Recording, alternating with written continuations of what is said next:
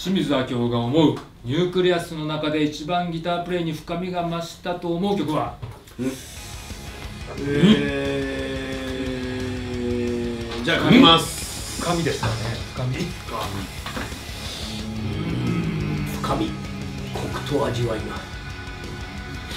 えー、っと反応のしようがない会話ですよねでどう思うた？まる今のコクと深みについてはこういうノーコメントで。コメントからはい。よっしゃ。あげました。俺まだ書けないな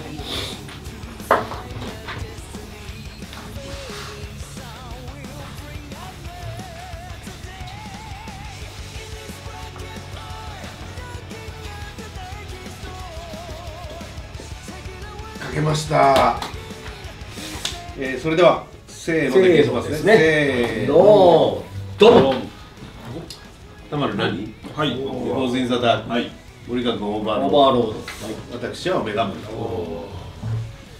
はい。じゃあ理由を。はい。 Echoes in the Dark ですね。えっ、ー、とこれはあの最後エンディングのところが特にそう思ったんですけれども今回多分 WOW を、えー、と使っていらっしゃると思うんですけど。らっしゃるってお前。あのそこがですねあの非常にあのいいなと思ったんですけどもあの自由な最後ギターソロなのかなと思いつつちゃんと起承転結もありますしそこでこう新兵器のワウを投入したことでですね。新兵器じゃないよいいねじゃねえけどなあ相の当昔からあるよね、あでも清水さんが使うのを見たことが僕はなかったのでですね、えー？今回。それはスタジオに来ないからだろ？前回も入ってるよバーえーっとですねそれでオーソロあの清水さんの良さがさらにあのはいありがとうございました、はいはい。それでは森川君。えー、 Overload なんですけど、えー、っとその過去のこの同じ曲の、えーソロに比べてやはり今の清水ならあではの,、えーなんだろうあのどっちかというと深みというよりは自分はもう成熟、えープレーが成熟してきてるというその清水のお成長具合のおプレーがあのこの曲では。なんすか理解 いや森川君ねはい。微妙にたくさん噛むのやめてください 俺噛んでます？神という夜はって言ったらさ。いやまあいいですよ、ええはい。成熟具合が、あのー増したと自分は感じましたね。はい。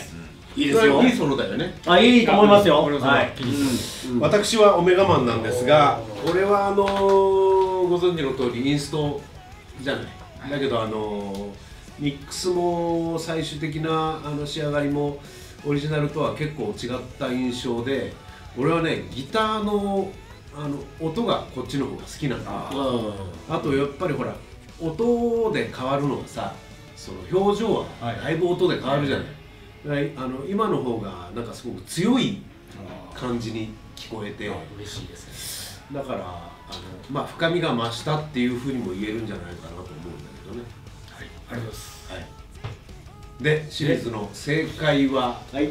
オメガマンですあやっぱりあ。ねやっぱりそうきたもうね。あれなんですよあの柴田さんに言われた通うん。りなんですけど、あのでも僕あのこの長年いろいろギターをやってて、あのこうだこうしたいなと思ってこう突き詰めてきたものが結構形になって出出てる感じで、例えばその倍音のコントロールなんですよ、低い位置でそのちょっとワウをかけたようにかけてないのに聞こえるとか、そういうのは結構うまくできてるんで。